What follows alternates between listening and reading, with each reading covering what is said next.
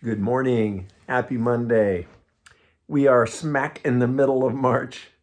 And uh, can I broach the idea on a Monday of spring cleaning?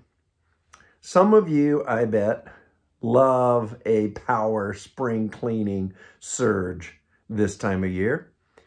Some of you, I would also wager, uh, breathe a heavy sigh when it comes to power cleaning. Hey, I'm Andy Ross. I'm one of the pastors at Northminster Church in Tucson, Arizona. Hope your week is starting well. Thanks for clicking on this video. In our schedule of scripture readings for today, we are directed to the prophet Jeremiah. Jeremiah chapter 7, where God's word through the prophet is clean up your act. Do some cleaning.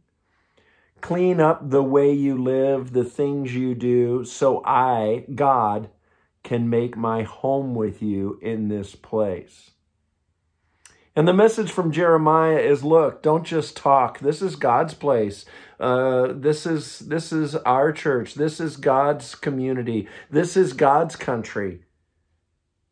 Be careful.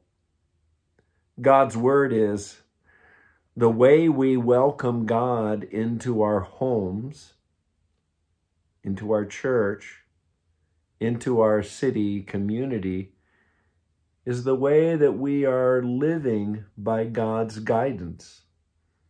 How we are not cheating other people or oppressing people or taking advantage of people no longer taking advantage of innocent people on this site, destroying your souls by using this temple as a front for other gods.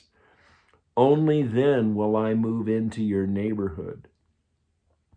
It causes us to ask important questions of how am I living? How do I need to clean up my act? That's what the season of Lent is about, for us to reflect on our living and live in a way where the presence of God is welcome, is at home with us. We need to be thinking about how in our communities we are treating the poor, those who don't feel like they have an equal chance.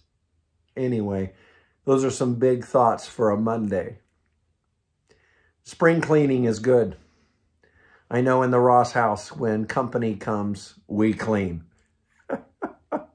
and sometimes we'll even say, we're so glad you're here. Now we can stop cleaning. How is God asking you to clean up your life today or through this week? We can certainly start with prayer. Blessings of God's word and spirit to you this day and always.